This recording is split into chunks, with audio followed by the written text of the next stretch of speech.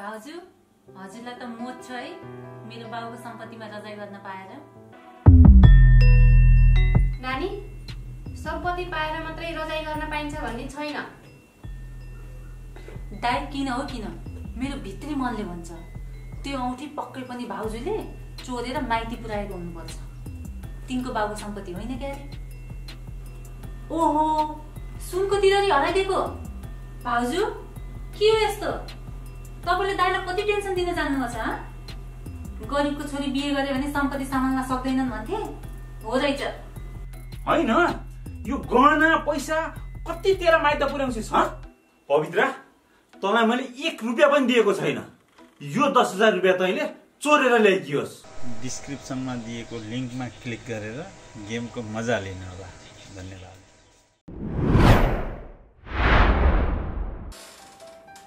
भाउजू को हो भाउजू म नमस्ते ओहो नानी पो आउनु भएको रहेछ सन्चै हुनुहुन्छ बस्नु न म सन्चै छु भाउजू अनि तपाईँको के छ हाल खबर दाइ कता हुनुहुन्छ त हामी पनि सन्चै छौँ दा यसो खेततिर जानु भएको छ नानी तीर्थ लगाएको होला बस्दै गर्नु है म पानी लिएर। होइन होइन भाउजू पर्दैन। मलाई खासै तिर्ख लागेको छैन। भाउजू हजुरलाई त मोज छ है मेरो बाबुको सम्पत्तिमा रजाइ गर्न पाएर। नानी सम्पत्ति पाएर मात्रै रजाइ गर्न पाइन्छ भन्ने छैन। सम्पत्तिको सुरक्षा गर्न कडा परिश्रम गर्नुपर्छ। पसिना बगाउनु पर्छ अनि मात्र रजाइ गर्न पाइन्छ। बुवाले दिएको सम्पत्ति हामी आफ्नो परिश्रमले जोगाइरहेका छौँ। अनि बल्ल पो रजाइ गर्न पाएका छौँ। तपाईँले पनि आफ्नो ससुराको सम्पत्ति पाउनु भएकै होला। रजाइ गर्नुभएकै होला। मेरो ससुराको कुरै नगर्नुहोस्। मेरो ससुराले मलाई एक बित्ता नदिए पनि म र मेरो श्रीमानले जागिर गरेर आरामले गरी खाएका छौँ। अब हेर्नुहोस् न तपाईँले भन्दा राम्रै लगाएकी छु राम्रै खाएकी छु। ओहो कति घमण्ड हो यसलाई? मेरो जति सम्पत्ति यसको भइदिएको भए त भुइँमा खुट्टा हुन्थेन यसको ओहो आएकी रहेछ सन्चै छौ? हजुर नमस्ते दाइ नमस्ते नमस्ते। हजुरको के छ हाल खबर ठिकठाक छ घरतिर सबै सन्चै छ होला के हजुर। घरमा सबैलाई ठिकठाक होला के? सबलाई ठिकै छ दाइ अनि भन ज्वाइँको हालखबर के छ? त? उहाँको हाल खबर पनि सब ठिक छ दाइ बस्दै गर्नु है म पानी लिएर आउँछु। ल हुन्छ ल्याउनु अनि दाइ यसरी खेतमा एक्लै काम गर्नुभन्दा बरु भाउजूलाई लगेर काम गराउनु नि। कि त खेताला राख्नु काम त गर्छ भाउजूले पनि। अब खेतको काम सबै म एक्लै सकाउँछु त। किन खेतरा लाउनु पर्यो भनेर नलगाएको हो। अनि भन तिमी के कति कामले आयौ त? अनि केही काम भयो मात्रै आउने हो र म यहाँ। तपाईँहरूको माया लागेर आएकी हुने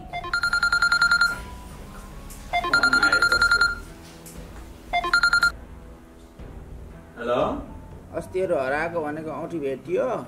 कहाँ भेटिनु? भेटिएन। राम्रोसित खोजेस्। हस् हस् ल ल। के भेटिएन दाइ? ए तिम्रो भाउजूको दुई तलाको औँठी थियो। दराजमा राखेको भन्थिन् भेटिएकै छैन हेर। सम्पत्ति भएर मात्रै हुँदैन के? त्यसलाई सम्हाल्न पनि सक्नुपर्छ। के गरिराखेको त्यत्रो दुई दुई तलाको औँठी? हराउने गरी भाउ छोडिदेऊ अब यो बारेमा कुरा गरेर कुनै फाइदा छैन प्रतिभा जाऊ न नास्ता बनाऊ बहिनी पनि भोक आइदियो मलाई पनि भोक लाग्छ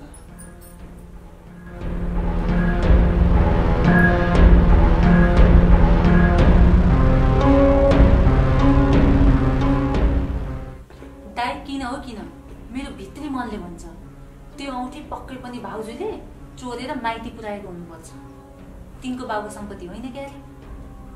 सम्पत्ति त हाम्रो बाबुको हो नि तपाईँले जति परिश्रम गरे पनि जति दुःख गरे पनि उसलाई किन दुःख दिएर आखिर हाम्रो खुन होइन क्या अरे?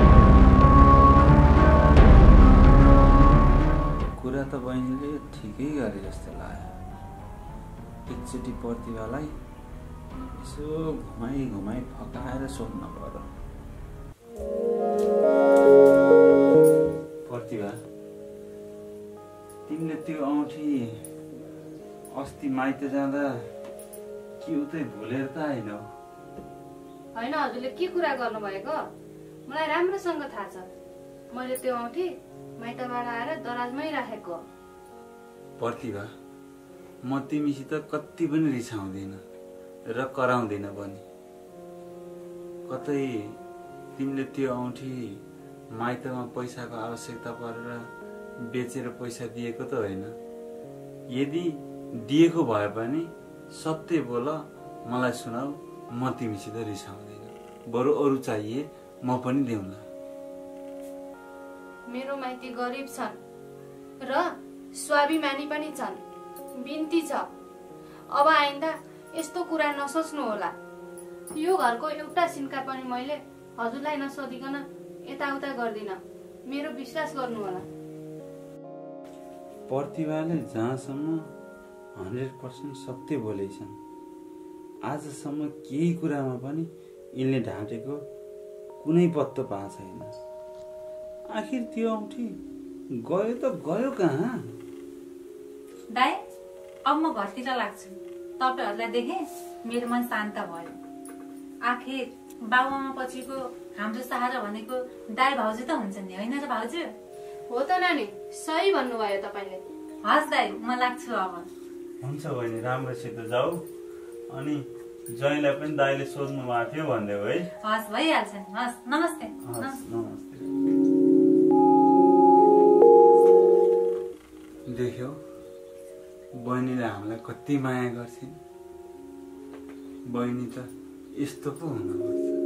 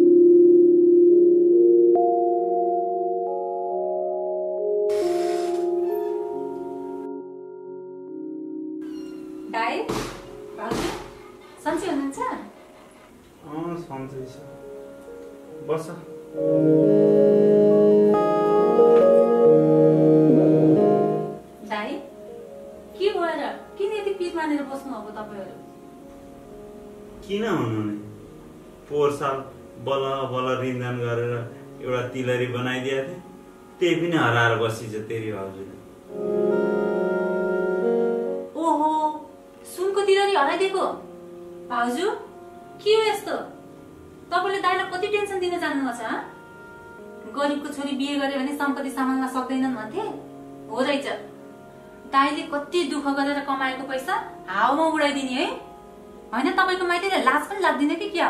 छोरीको गहना बेची बेची खानलाई। जहिले म यो घरमा आयो केही न केही चोरी भएकै हुन्छ।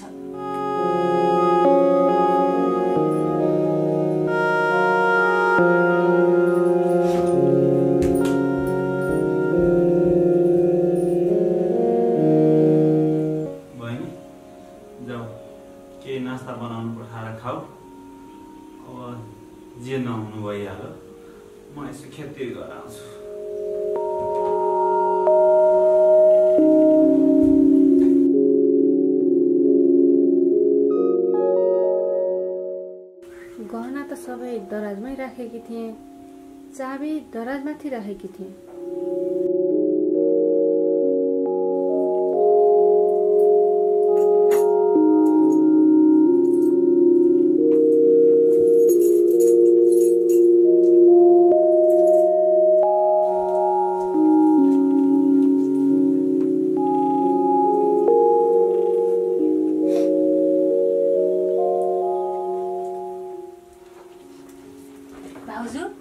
अझ कति लिनुहुन्छ यसो नन्द आइछिन् केही नास्ता पकाम खुवाम रमाइलो गरौँ दुःख सुख कुरा गरौँ भन्नु त छैन है। तपाईँ बस्दै गर्नु म नास्ता पकाएर लिएर आउँछु।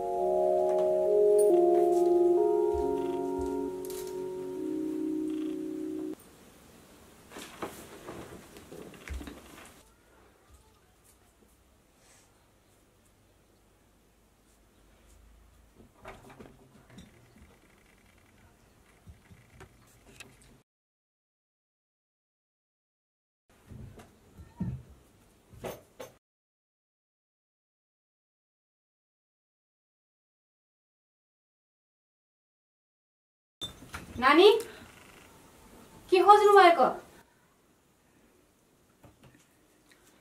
दलजको चाबी खोजेको।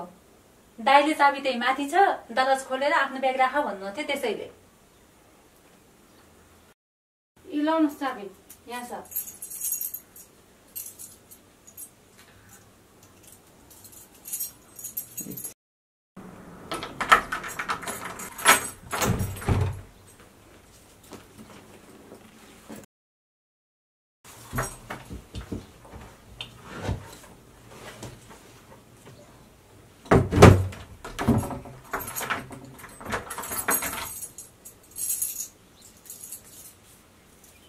दिनुहोस् चाबी किन चाहियो चाबी यहाँ भएको गहना पैसा माइती बुझाउनको लागि? नानी मलाई जे भन्ने भन्नुहोस् तर मेरो माइतीलाई त्यस्तो नभन्नुहोस्। के गर्नुहुन्छ त भाउजू? बुहारीहरू अगतिलो भएपछि माइतीलाई नै दोष जान्छ।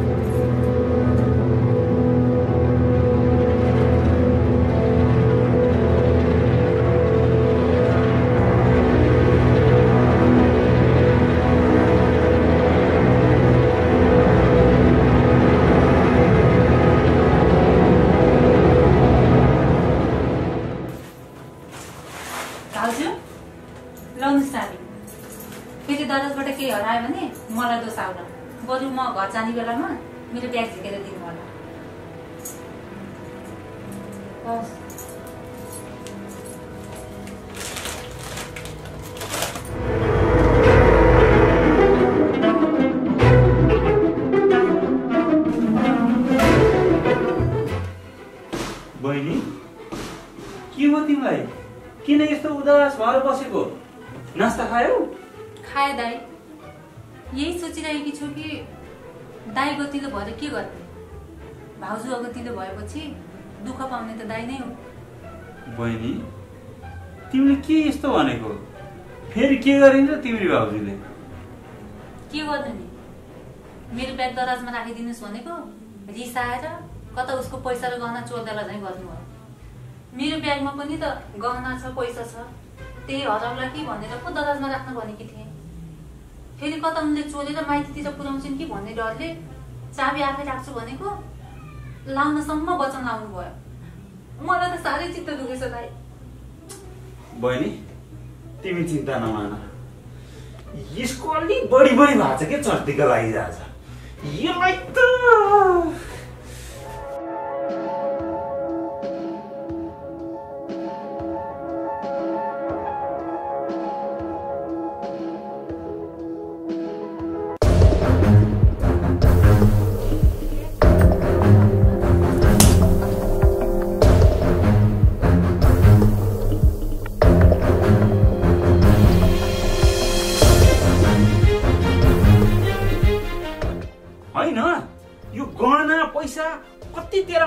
हँ तेरो बाउको सम्पत्ति हो?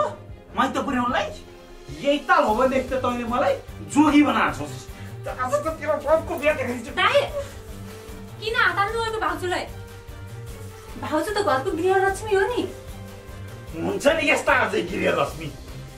यो त चोर हो चोर।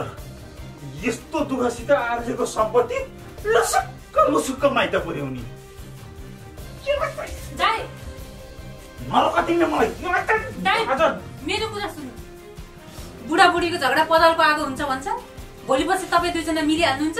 बेकारमा म मात्रै दुश्मन बन्नुपर्छ। भाउजूलाई मेरो ब्याग दिइहाल्नुहोस्। म गइहाल्छु। ल ल ल छिटो दिनुहोस्।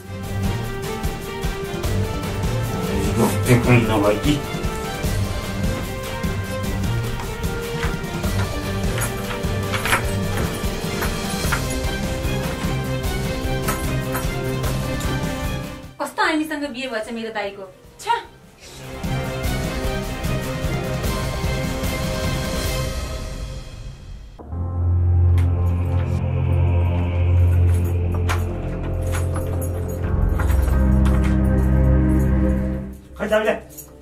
अबदेखि यो चाबी तँले छुने होइन बुझिस? यहाँको गहना पैसा यताउति अह अब तँले हात नला काम केही यदि परेछ भनेदेखि मसित माग म खोलेर दिन्छु?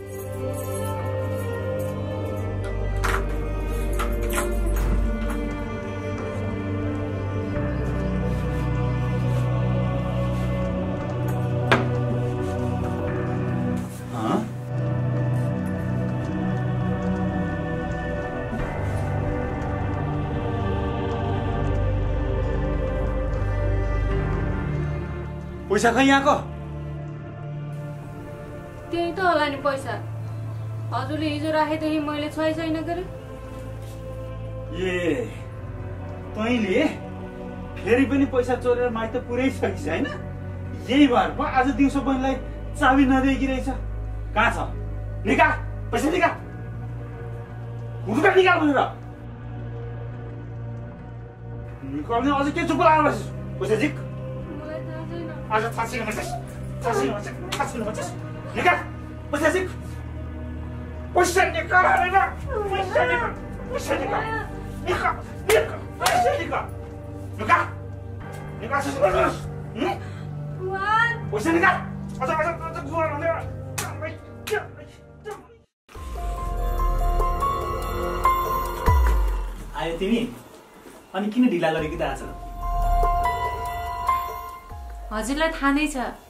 म माइत गयो भने दाईले मेरो हातमा पाँच दस हजार नराखी मलाई घर आउनै दिनुहुन्न।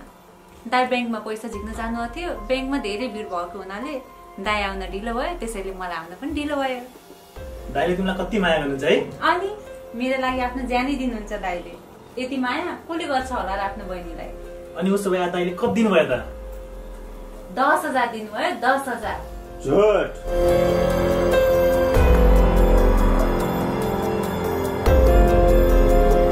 पवित्र? तँलाई मैले एक रुपियाँ पनि दिएको छैन। यो दस हजार रुपियाँ तैँले चोरेर ल्याइदियोस्। दाइ दाई? दाइ तपाईँ अचानक यहाँ? अनि तपाईँले यो के भन्दै हुनुहुन्छ? उहाँ सही भन्दै हुनुहुन्छ। हामी यो घरको खानतलासी गर्न आएका छौँ। हाम्रो घरको गहना र पैसा हराएको छ। मलाई पुरा विश्वास छ। त्यो पैसा उहाँले नै चोरेको हुनुपर्छ।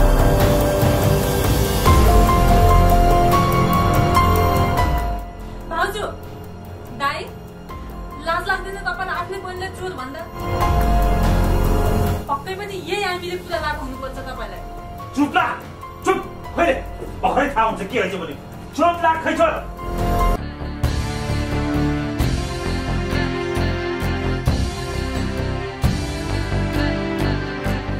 देख्नुभयो त केही छैन। यहाँ छ यहाँ छ। हेर त यो हो भने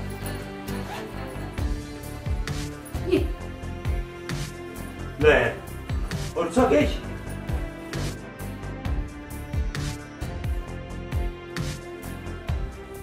इ, औँठी पनि यहीँ रहेछ। हो त। ल हेर्नुहोस् त। इ, यत्रो पैसा पनि यही छ। ल। पवित्र यो सब के हो? नानी यो सब हजुरले चोर्नु भएको? दाइ यो गहना त भाउजूले दिनुभएको। र यो पैसा पनि फेरि हजुरले दिनुभएको होइन र? होइन बाबु उहाँलाई हामीले कुनै गहना पैसा दिएका छैनौँ। यो सब उहाँले चोरेर ल्याउनु भएको हो। पवित्र के उहाँहरूले भनेको कुरा सही हो? किन बोलेछनौ सही हो कि नै?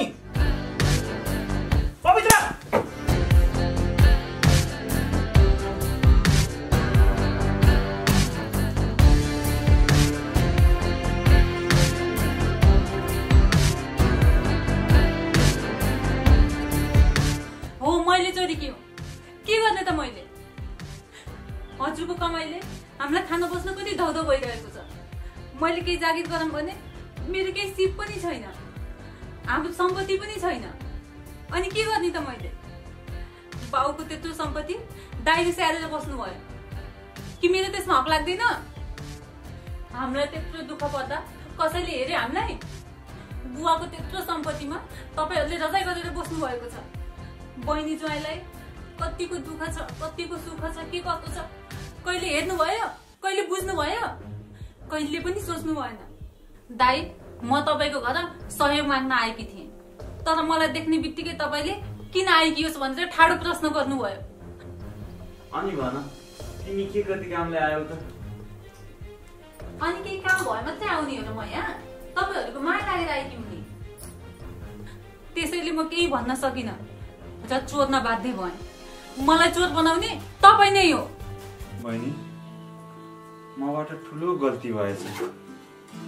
मैले त एकपटक पनि सोच्न सकिनँ कि तिमीलाई कतिको दुःख परेको छ भनेर। तिमीले मसँग आएर एक आँखा दाई मलाई यस्तो पर्यो भनेर दुई शब्द भनिदिएको भए के म तिमीलाई सहयोग गर्थिनँ होला र? आज मसँग जे जति सम्पत्ति छ त्यसको आधिको आदि पनि थिएन बुवाले मलाई सम्पत्ति दिँदाखेरिमा। आज जे जति सम्पत्ति छ मैले दुःख सुख गरेर मेहनत गरेर थोरै धेरै जम्मा गरेको छु।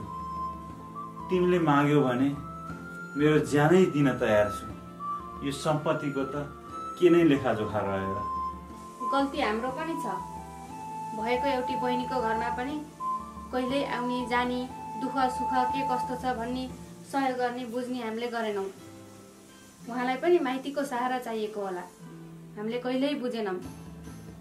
नानी हामीलाई माफ गरिदिनुहोस्। भाउजू मसँग माफी नमाग्नुहोस्। माफी त मैले माग्नु पर्ने हो। मैले दाईको भाउजूको माया कहिले बुझ्न सकिनँ। मलाई माफ गरिदिनुहोस्। बहिनी तिमीले दुःख नमान। अहिलेसम्म जे भयो भयो। अब आइन्दा त्यस्तो नगर। ल राख। यो तिम्रै भयो। अब आउँदा दिनहरूमा त्यस्तो कुनै समस्या परेछ भनेदेखि म बाउ समानको दाई हो। ढुक्क भएर तिम्रा समस्याहरू मलाई भन। म सक्दो तिम्रो समस्यामा साथ दिने कोसिस गर्नेछु। दाई गल्ती पवित्राकै छ? जे जस्तो भए पनि आफ्नै घरमा चोरी गर्न नहुने थियो। हेर्नुहोस् ज्वाइँ साहब गल्ती प्रत्यक्ष अप्रत्यक्ष रूपमा हामी सबैको छ। यदि एउटा परिवारलाई दुःख पर्दा अर्को परिवारले सहयोग गरेको भए आज यस्तो दिन आउने थिएन। त्यसैले एउटा परिवारलाई दुःख पर्दा अर्को परिवारले राम्रोसित सहयोग गरौँ सुख दुःखमा साथ दिउँ त्यो नै एकदम सुखी परिवार हुनेछ। कि कसो हजुर?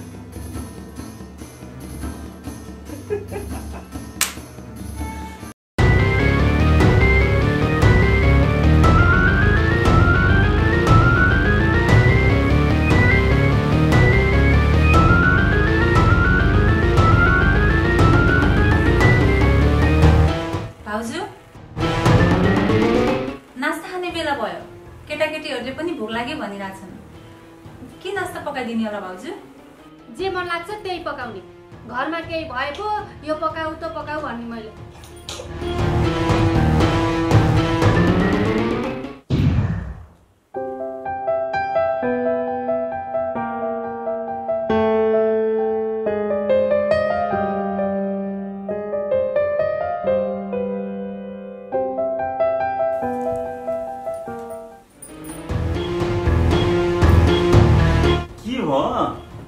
किन ठुस्किएर बसेको तिमी?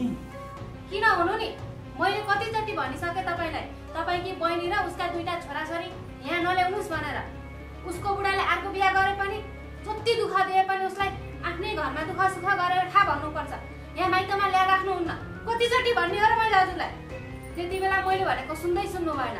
अहिले यहाँ यस्तो कमाइ धमाइ केही छैन। आफ्नै छोरछोरीलाई त के खुवाऊँ भनेको बेलामा झन् तिनजना थपिएका छन्। अझ खाना नास्ता समयमै चाहिने यार जतिखेर पनि भोक मात्रै लाग्यो यार होइन कति हन्तकारी हुन् हजुरका भान्जा भान्जीहरू। तिमीले त्यसो नभन न। त्यो बहिनी र म त एउटै काखमा हुर्किएका दाजुभाइ नि हौ नि। यदि अहिले हाम्रो बा आमा भइदिया भए मैले जे गरेको छु नि बुवा आमाले पनि त्यही गर्नुहुन्थ्यो होला। त्यो बहिनी दुःख पाएर बाहिर भौतारिएर हिँडेको ठुलो ठुलो हेरेर त बस्नुहुन्थेन होला नि त। उहाँहरूले नि यही घरमा ल्याएर राम्रोसित सुखसित राख्नुहुन्थ्यो होला। तिमी र म त उसको दाइ भाउजू हौ। दाइ भाउजू त आमा बाउ समान हुन्छन् नि। फेरि तिमीले जब दुई छाक पकाएर खुवाउन भने किन दुःख मान्छौ त नि? त्यसो भए किचनमा गएर मिठो मिठो पकाएर खुवाउनु नि त बस्नु भएको त नि? हेर परिवार र आफन्त भनेको रमाउने खुसी मनाउने र मिठो मिठो परिकार खाने मात्रै होइन। दुःख सुखमा मिलिजुली बस्ने र एकअर्कालाई ख्याल गर्नु पनि एउटा परिवार हो हेर भइगयो भइगयो। तपाईँको यो ठुल्ठुलो भाषणले हाम्रो पेट भरिँदैन। पेट भर्नको लागि रासन चाहिन्छ। जुन घरमा छैन। दाई लाउनुहोस्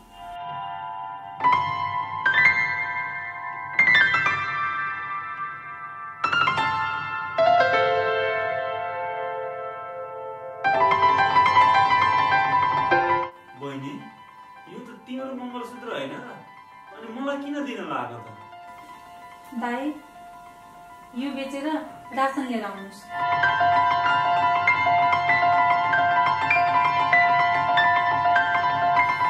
पछि काम धन्दा भयो भने केही उपाय गरौँला।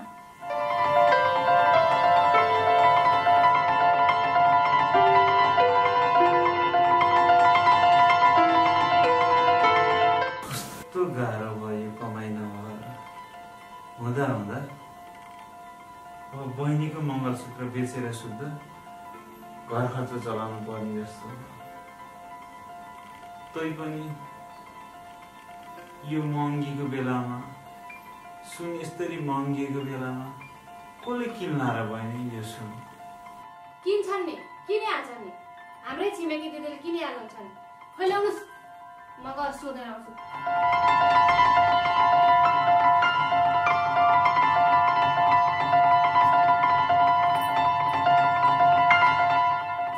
बहिनी भाउजूले यस्तो गरी उस्तो गरी भनेर तिमीले कति पिर नमान है उसले सायद घरायसी समस्याले गर्दा यस्तो गरेकी हुनसक्छ।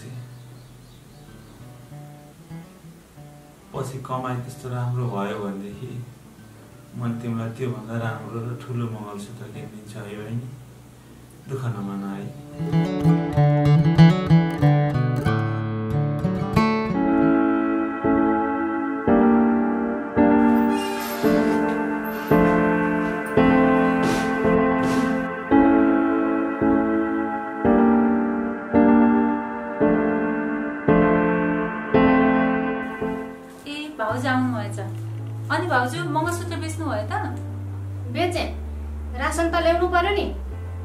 धेरै खाना।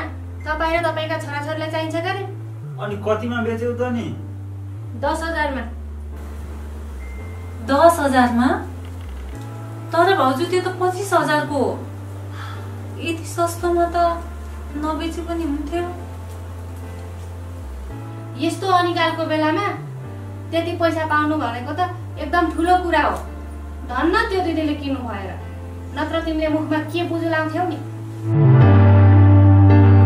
त्यति सस्तो दिन भन्दा त बरु त्यही गहना त्यही दिदीलाई जो तपाईँलाई यो धितोको रूपमा भयो केही दिनलाई मलाई दस हजार रुपियाँ ऋण ल्याउनुहोस् न भनेर मागेको भए त हुन्थ्यो नि।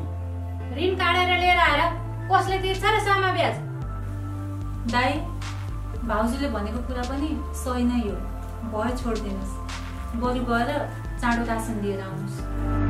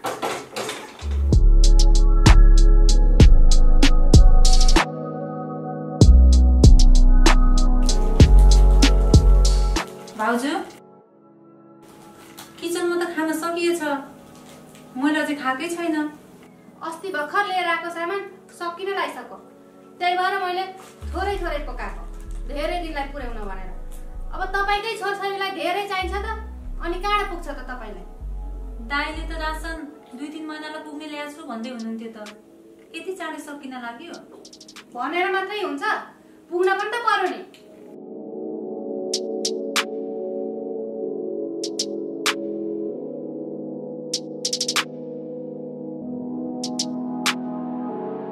आफूलाई कस्तो सन्चो नहोला जस्तो भइरहेछ। झन्न ज्यान रन्केर ज्वरो आउला जस्तो भइसक्यो। टाउको पनि बेसरी दुखिरहेछ यसको फेरि जतिखेर पनि क्यास क्यास क्यास क्यास त्यतिखेर पनि ढाडिन मात्रै चाहिने यसलाई एउटा सिटामल खान पाए पनि अलिक ज्यान हल्का हुन्थ्यो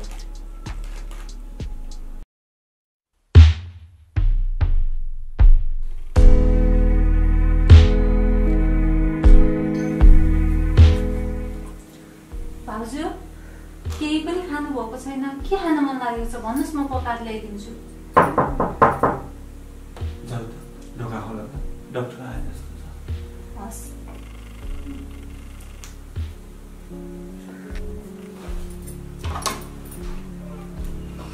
नमस्ते नमस्ते नमस्ते नमस्ते ए नमस्ते ल बस हेर्नुहोस् न हिजोदेखि एकदम चाप्या छ यसो चेक गरिदिनुहोस् त सास फेर्नु त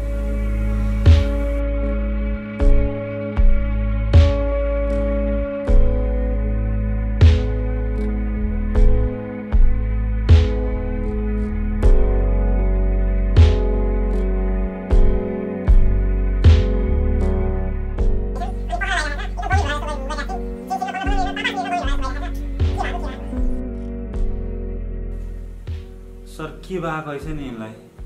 उहाँलाई डेङ्गुको लक्षण देखिएको छ। छिटोभन्दा छिटो तुरुन्त हस्पिटल लगेर भर्ना गरिहाल्नुपर्छ। डेङ्गु? यो कसरी? झुल्लाएरै सुत्छन् घरमा अरू कसैलाई नलाउने मलाई मात्रै लाउने सरसफाइ पनि गरेकै छन्। यो हुन सक्दैन। अलि राम्ररी चेक गर्नुहोस्।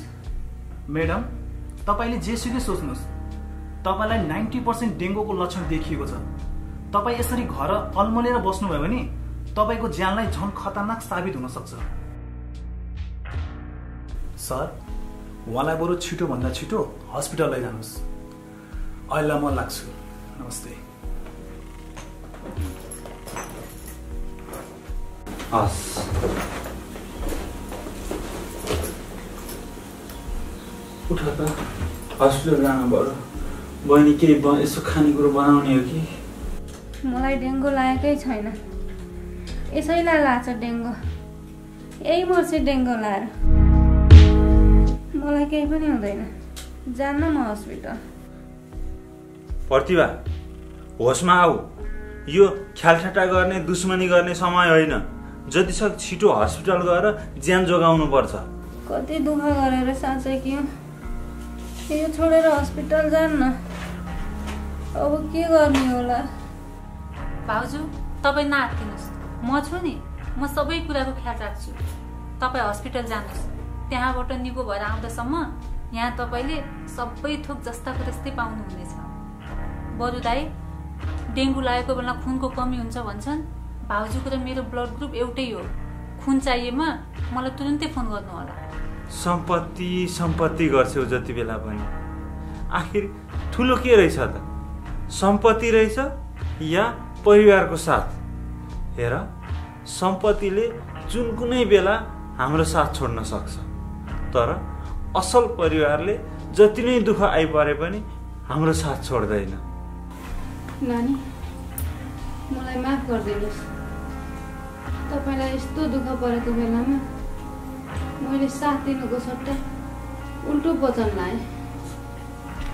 भाउजू पैसाले होइन समयले चिनाउँछ कि आफ्नो को हो र परायोको हो?